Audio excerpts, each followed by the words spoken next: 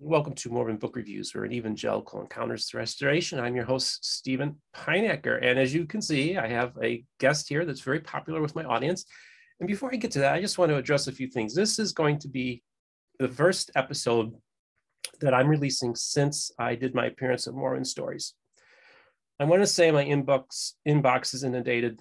My Facebook Messenger is getting messages all the time. I was just reading a message I got from Serbia just a few minutes ago somebody from Serbia who's a big fan of what I'm doing and found me because of Mormon stories. For all of those who are new viewers or those of you who have reached out to me, I've, I've, ha- I've had the opportunity to respond to some. I will be emailing everybody who's messaged me. You will be getting a response from me. I just want to say thank you. Apparently, I touched a lot of lives. And I was just going to do a little book review channel. And I got people telling me how much my story helped them. I had lunch with somebody Saturday morning who insisted, I got to meet you now, father of six. And, uh, you know, I'm, I'm honored and privileged. And I just want to thank everybody out there who've, who've, who've just found me out. Uh, welcome to the channel and welcome to the community. And uh, thanks again for all the positive feedback. Sorry, get off my soapbox now. Jonathan, welcome back to the program. Well, I'm happy to be here with you, especially on this first one uh, and your post uh, Mormon stories. Yeah, it's kind of wild, dude. Let's just say it's kind of yeah, wild. Yeah, uh, that's the reason, awesome. Uh, the reason I had you on, you know, of course, those of you who are regular viewers of my channel, I usually kind of have a, a mix on Tuesday where I do like these shorter segments.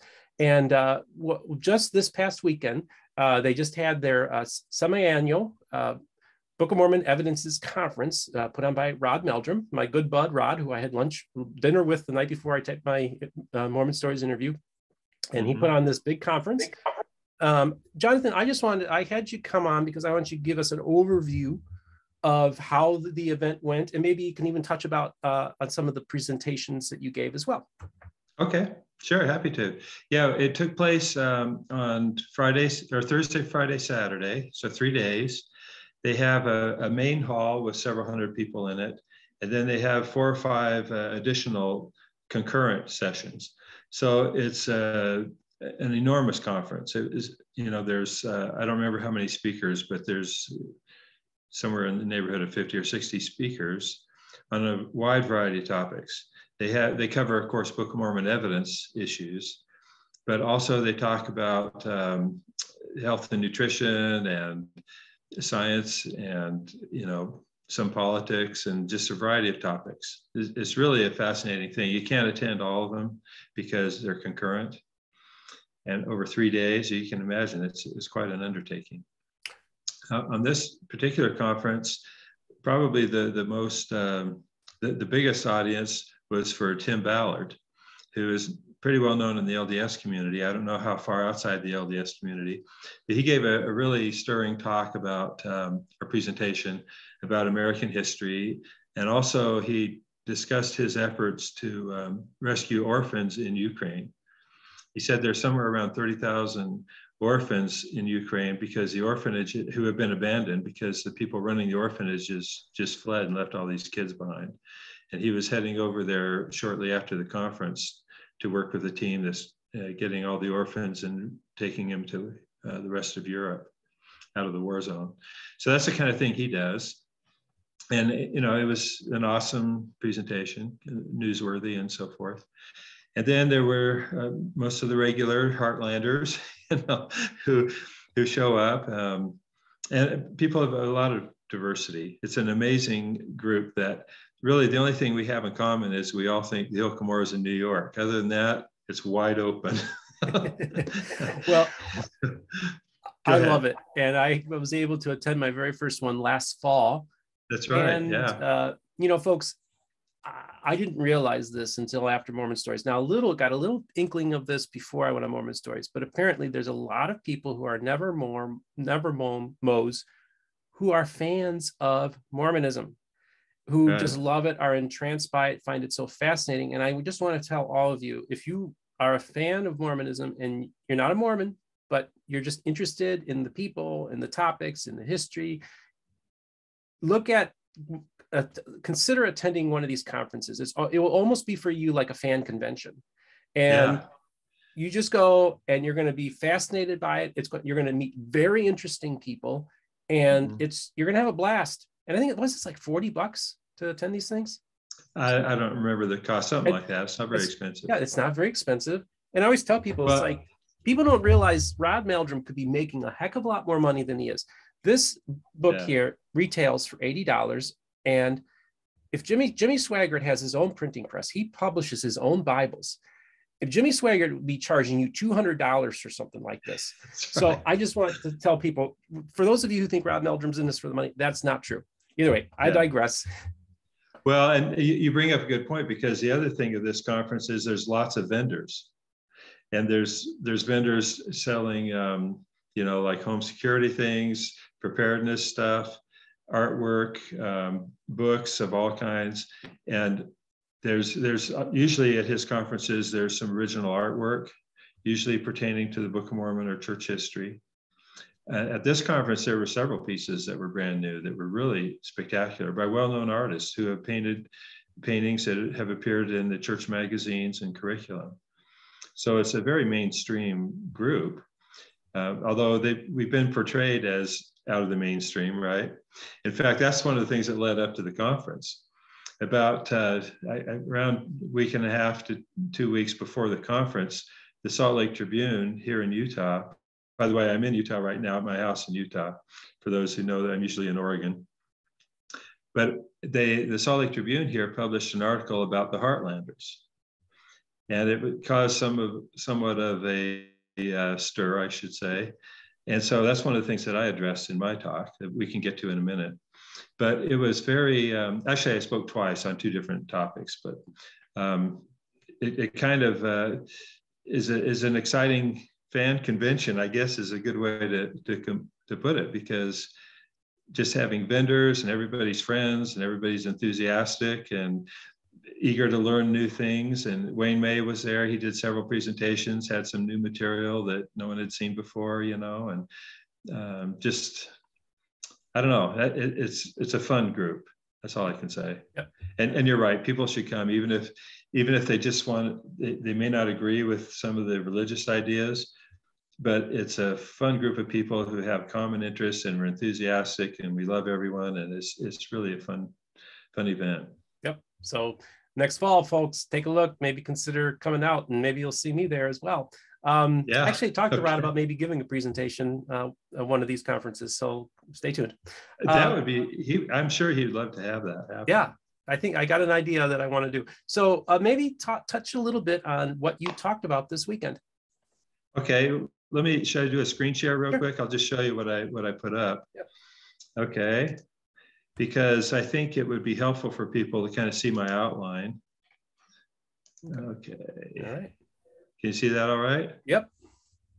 I'm not, I won't put it on as a PowerPoint. I'll just kind of go through the slides a little bit. So I talked a little bit about MOBOM. MOBOM is the Museum of the Book of Mormon webpage and some other web pages. I demonstrated those. And then I talked about who are the Heartlanders.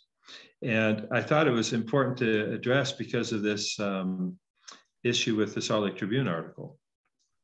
And I, I use this kind of provocative title, The Omnipresent and Omniscient Heartlanders, which was a little tongue in cheek, but it was fun. So I, I pointed out that um, Heartlanders are church members everywhere around the world.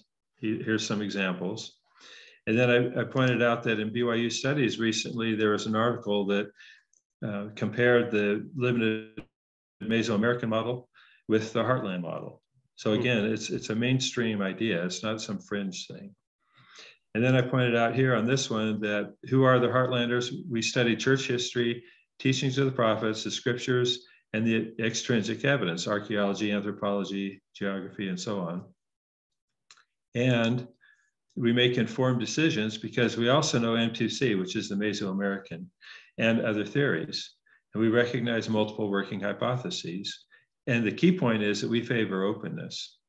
We, we like to have members of the church and other interested people, uh, as you mentioned, the never Moes and so on, even former Moes. We think that uh, everybody should have access to all the information. So we oppose any kind of censorship. We, we endorse uh, people making informed decisions. And that really defines who Heartlanders are. And as I mentioned earlier, we the one the only one thing we really have in common is we all think Hill Cumorah is in New York. and it's beyond that, it's open season on whatever ideas you have, you know. But the key point I wanted to make is that we're all around the world, and I gave many examples of that during my talk. Then I, I put up this um, Dilbert cartoon because it kind of exemplifies some of these approaches. It's here. I'll just read it for your audio uh, listeners. So Dilbert is talking to um, one of his coworkers, and he says, "Yesterday, someone disagreed with me, and I changed his mind using data and reason." And the coworker says, "That isn't possible." And Dilbert says, "I didn't think so either, but it happened." And then in the last panel, he says, the coworker says, it smells like a trap. And Dilbert says, I couldn't sleep all night. and that's that, that's so, such a fun way to point out how data and reason doesn't change people's minds, except in rare cases, mm-hmm. because we're all engaged in confirmation bias. Sure. But that's what we love as, as Heartlanders. That's what we love about it because we like knowing what other people think. And we like comparing and considering different ideas and different uh, information and so on. And so, you know, it's really fun. But I'm, I'm going to just show quickly this article that was in the um, Tribune because the, the title was Who Are the Heartlanders and Why Do They Insist the Book of Mormon Took Place in the US? Can you see that okay? Or is it? Yep, loud and clear. Yep. And um, it, it, was a, an amazing article for a lot of reasons, but the, the fun part for me was that the author of the article, the reporter, contacted a bunch of the Mesoamerican advocates to criticize the Heartlanders, which I thought was kind of funny. So I, I, put these up on the screen for everybody in the audience to, to see and appreciate. Uh, one, of, one of them they quoted was Brant Gardner, and it says a Book of Mormon scholar who has written numerous uh, books in defense of the Mesoamerican model. That's kind of an understatement. He's one of the, the most prolific and adamant Mesoamerican advocates. But he, he's speaking of the Heartlanders, he says, I see it frequently in words and talking to people. It's a lot more prominent than it was. Exactly how popular the Heartland model has become is hard to say. This is from the article. Uh, Wayne May pointed to the crowds he's able to draw, where he gets four to 6,000 people attending his lectures over three days. And so, and that's, that's about right. That's about the numbers that we have. Um, he goes on to say, um, Wayne said there's a lot of saints that are interested paying close attention. And this is one of the fun ones. Gardner grudgingly agreed with Wayne and he said, we can't get that many people to any of our conferences, he said, referring to his own community of supporters of the Mesoamerican model. It's a point of envy. Mm. And you know, for years I went used to go to the FARMS and Fair Mormon conferences, and they'd have two or three hundred people, and it was very sedate. They would have one session, no concurrent sessions, and typically no more than you know four or five, and they were all kind of boring, talking about the same thing over and over again. Completely different dynamic at the Heartland conferences. The, the Fair Mormon and FARMS people, there's no joy there, there's no enthusiasm. It's just kind of this really boring re- reiteration of the same thing they've been saying for years that fewer and fewer people believe, right? But the Heartland stuff has just enormous energy and, and largely attributable to Rod to begin with, because as you know, his personality. But it's also the content and the, the variety of people that come out. There's, there's new speakers every year and new approaches. So this article went on to say this. Christian nationalism, Hannah Seariac was one of the other people interviewed. You've had her on your show. Absolutely. Yep. And, and so she said Christian nationalism, Seariac said, fuels their interpretation of everything, which is just such a, a preposterous statement. And she knows perfectly well that what fuels their interpretation of everything is the Hill Cumorah, New York, right? That's why they're called Heartlanders. And so she's trying to frame this as a uh, a bunch of crazies. She says here they tend to be anti-vaxxers and to post about QAnon and are just prone to conspiratorial thinking. It, it's just such a laughable thing for her to say. She knows it's not true. I've talked to her. I've talked to her for hours, and she knows there's Heartlanders all around the world, non-Americans who couldn't care less about American politics, but and I'm going to get get to why they're doing this in just a sec here because it was interesting. So I was showing this to the to the audience, these hundreds of people, showing them how these people are portraying them, and there were gasps, you know, and horror and shock. It's like, how could they say this about us? Because this is not us at all, you know. It was it was pretty funny. Hmm. They go along here and say. Um, they say they tend to be anti-immigration. I mean, it's just kind of funny.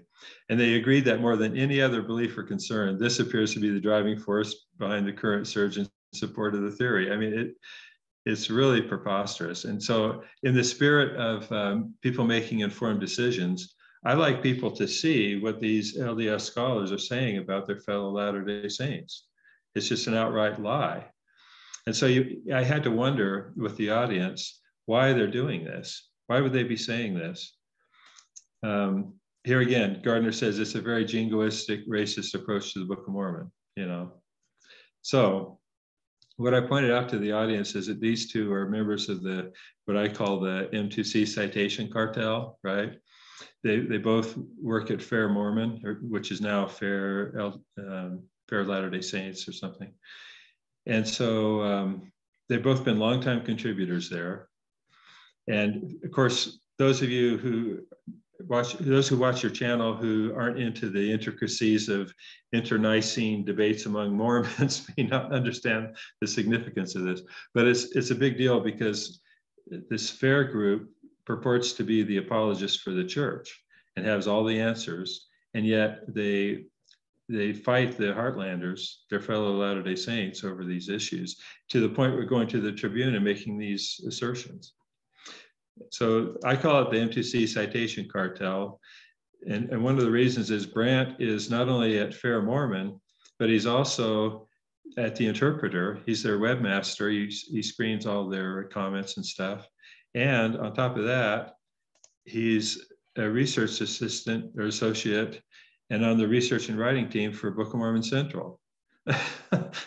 so there's, you know, Book Mormon Central raises millions of dollars every year to promote their Mesoamerican stuff. And as he said, they're envious of the Heartlanders because all the enthusiasm in the church about the Book of Mormon is with the Heartlanders, not with the Mesoamerican stuff. And more and more uh, Latter day Saints are realizing the Mesoamerican stuff doesn't make any sense anyway. So you can see why he'd be out in the media trying to you know, tell tell the world that the Heartlanders are a bunch of racists and so on.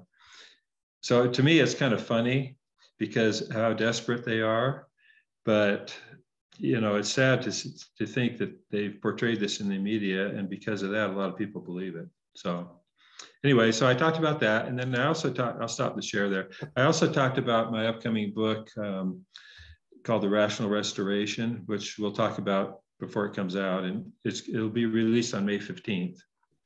And you'll be the first one that I do an interview with about it because I just love your channel. but um, so I talked about that too in a, in a separate session. Great. And then, like I say, there were talks about uh, Book Mormon geography and church history and uh, you know social issues and just all kinds of topics. Yeah. So Brant, I've had Hannah Seariac on.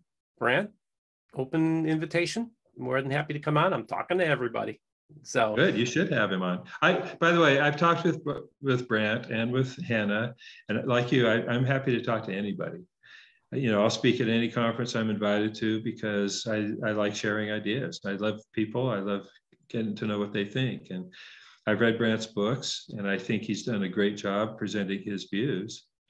But I, I my only criticism of him is how closed-minded he is. Mm. You know, and and well that and you know misleading the public about who the Heartlanders are. Sure, sure. Yeah, so I think I uh, I think you know everything is always going to be a mixed bag. You're going to have see. I think yeah. that my thing, and I talked to Hannah about it when we talked about nationalism. Right. Yeah. And I said, you know, I can see how there would be nationalists, white nationalists in particular, who would glom onto the heartland because right. it would fit a narrative, and they're using they might be using Rod and Wayne May. Um, mm-hmm. I think it's important that they both be aware that they need to not get used. Good point. Right. Yeah. And absolutely. and and I think that I you know and I don't know if Wayne is you know I think it's important that they need to make a real clear statement that they condemn white nationalism. You know, it's not part yeah. of your movement. Wayne did talk about it a little bit too. So oh, good. I'm glad. just just not as explicitly as I did. okay, great. And uh, so yeah, I just think that you know um, I don't like. See, this is the thing, folks. Our country is on fire. Nobody's talking to yeah. everybody. And when right. we are doing these kind of things where we're attacking each other, look, we, in my side, people, you know, we quibble over one little tiny doctrine, and then we have a church split. Okay. Right. Um, right. This is endemic everywhere, and now our our society is just is totally divided. And you know, I think why in the world does it have to be this? Why can't we literally just be civil and just have adult conversations with each other? I mean, Rod Meldrum and John Dehlin sat in a room and taped for hours and hours. Right. Why can't more of that kind of thing happen? And exactly. so, you know, and, and like I said, you know, Rod Meldrum might have me speak at a conference, an evangelical, right? Yeah. I think that's awesome. He said Lynn Ridenour has spoken at his conference. He's yeah. a Baptist minister. That's right. Yeah. Yeah. We've had we've had people who advocate the Mesoamerican theory speak at the Heartland conference because exactly. we want people to understand one another. That's yeah. the whole point. Yeah, I think that that um, I think it's interesting that there's a reason why the um, Rod's group is gaining steam. It's caught the notice of other people, including John Dehlin. The one thing I really like about what's happening is that, that for too long there were these gatekeepers. Yeah. And they pretty much decided, no, you you can come in, no, you you stay out. And I don't like gatekeepers. Right. And part of this channel is trying to basically do an end run around the gatekeepers and mm-hmm. get another way for people to get a platform and have a conversation. There, I told you early on, I said, you know, I saw what people were saying about you, and I'm like, I want people to, I want Jonathan right. Neville to tell his story and not have other people tell his story. Yeah, and so exactly. that's what this channel is about too, is about getting everybody out. I'm, I'm digressing a little bit, but I just, I think it's important that, you know, what's going on is let's just be civil and kind to each other and just mm-hmm. have the opportunity just to have, rather than call names and do these stupid things that Dan Peterson's done in the past and silliness. Yeah, right. Yeah, totally. And and again, we can't we we rehash it so often because it's so true. I mean, you're doing a, a great service for everybody. Whether you're demonstrating how we can disagree about different topics, but find commonality at the same time. Yep. And, and, that's what I love about it. Yeah. Well, you know, dude, uh, this is so cool. I'm glad I have this relationship where I have this Rolodex where I can contact somebody at the last minute and say, Hey, I just realized I have an open slot. Can you come on? And, yeah. I know it's snowing there, so you couldn't go to the golf courses this today. right, exactly. but um, I just want to thank you so much, Jonathan, for coming onto the program today. I know you're a busy man. And mm-hmm. I just think it's very, I just want my audience to be able to hear all these different voices within the restoration. Jonathan, is there any anything that you want to uh, any any parting anything that we didn't cover that you maybe uh, about well, I should mention, I guess I should mention that all of the proceedings from this conference will be available uh, through the Rod's channel and some of them on YouTube as well. So if people want to see for themselves what went on, that's that, that will all be available. They're in the editing process right now, of course. Okay, that's great. That's great. Yeah, I remember okay. when I went last fall, I went to the Firm Foundation. I was with Rick Bennett and I said, well, I, I don't know which one I said I've almost seen almost all these presentations already on YouTube. You know, I'm familiar with a lot of you know the, yeah. these ideas yeah. anyhow. Uh, but yeah, it's it's a great service that Rod's doing, and uh, you know I I went and visited his home uh, mm-hmm. that he's building, which is going to become a multimedia center as well. It's an yeah. impressive thing that he's building. He's, he's got an 80 seat studio that he's building, and then he's also going to do an outdoor amphitheater theater down the road. Yeah, Very cool stuff. That's right. Yeah, that's cool. Yep. So, folks, I just want to remind you to uh, like and subscribe, and don't forget to hit the notification button for when a new uh, a video comes out. Uh, also, our podcast is available on the major platforms such as Spotify, Apple, and Google. You can reach me at Gmail, I mean, uh, Mormon Book Reviews at gmail.com. I also want to remind you that if you want to financially support our channel, you can do that via Patreon, which I will provide a link in the description. Uh, everybody, uh, you poor poor folks in Utah with all the snow, feel bad for you. Uh, I'm here in sunny Florida for sure. but uh, you, you, summer's coming, don't worry. And uh, just remember, wear a coat, and then summer will be around right around the corner. So you all have yourself a wonderful. We we might have to come to Florida actually. come Please. Hey, Brent Ashworth is just just flew in this morning. I'm going to have lunch with him this week, so I'm very excited. Oh, wonderful. That. Cool. All right. Well, I'll, right. be, I'll be out there in the fall, but anyway, we'll talk about that later. Great. All right. Awesome. See you later. All right, okay. folks. See you later.